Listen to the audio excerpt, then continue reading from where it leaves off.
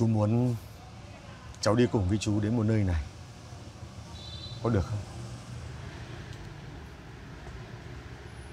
Dạ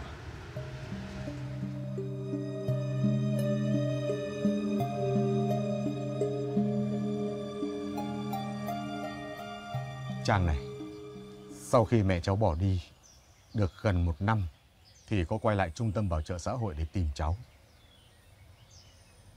Nhưng lúc đó cả trung tâm bị cháy và người ta đã làm khai tử cho cháu.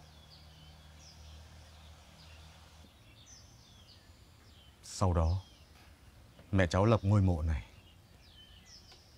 Và hàng năm, cứ đến ngày rỗ, mẹ cháu lại âm thầm về nước chỉ để đứng lặng ở nơi này dằn vặt bản thân vì đã không quay trở lại đón cháu sớm hơn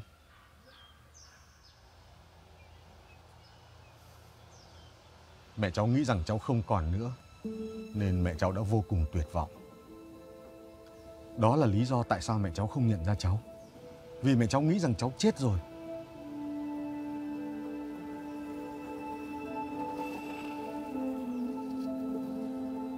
chú rất mong hai mẹ con cháu có thể gạt hết được những hiểu lầm. Bởi vì trong lòng mẹ cháu, cháu là quan trọng nhất.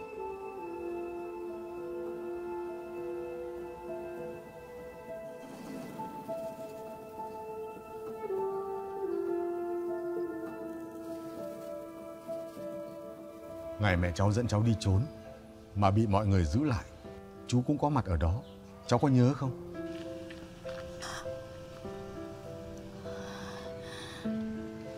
Cô đi đâu? Theo lệnh anh Long, cô đi đâu? Tôi đưa cô đi. Mẹ cháu đã từng rất muốn dẫn cháu đi theo. Mẹ cháu đã van xin rất nhiều lần để được mang cháu đi. Nhưng đương nhiên là không được chấp nhận. Người ta không thể mang nỗi khổ để biện minh cho hành động của mình được. Nhưng chú dám đảm bảo nếu có một cơ hội dù là nhỏ nhoi nhất mẹ cháu cũng không bao giờ bỏ cháu ở lại.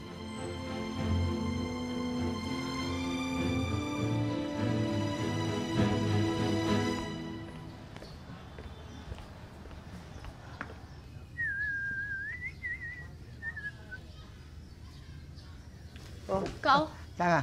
Mẹ cháu có nhà không ạ? à Mẹ cháu vừa chạy ra ngoài Đi đâu nhỉ? Cậu không biết ừ. Sao hôm nay cậu ăn diện thế hả? Ừ, ừ. thì hoa nữa à. Cậu đi đâu đây? Cậu... Cậu... À, đi ra tổ thơ Tổ thơ? Chú nghi lắm ấy nhá Nghi cái gì mà nghi Mày, cậu cậu đi nhá Vâng ạ, chào các cậu